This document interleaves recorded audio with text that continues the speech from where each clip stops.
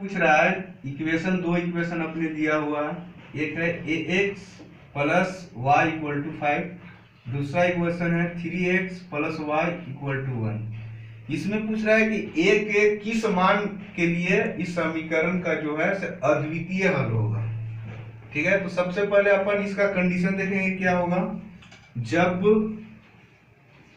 ए का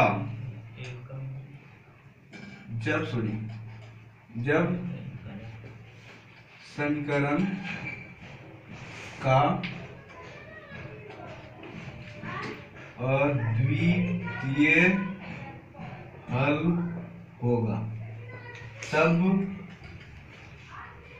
A one upon A two not equal to B one upon B two इस condition पे इस समीकरण का जो हल होगा वो अद्वितीय होगा। तब हमको ए का मान पूछ रहा है कि ए का मान कितना होगा। ठीक है तो सबसे पहले चलेंगे इक्वेशन समीकरण फ़र्स्ट से।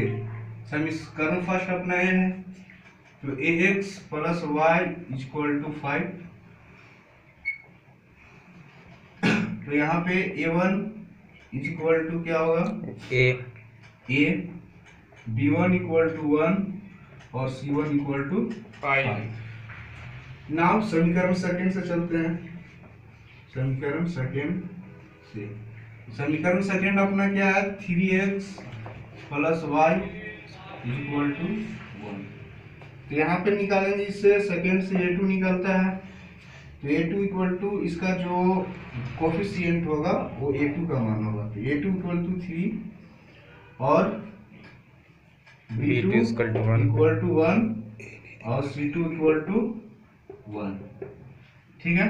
अपना A one B one C one का मान आ गया ए टू बी टू और सी टू का मान हो गया।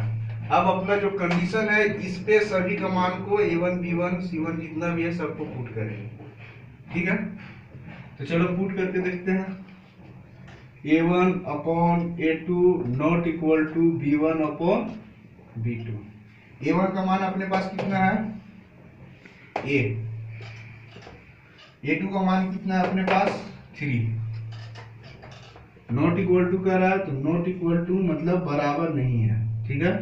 बी वन वन और बी टू बी वन यानी कि ए का मान कितना होगा?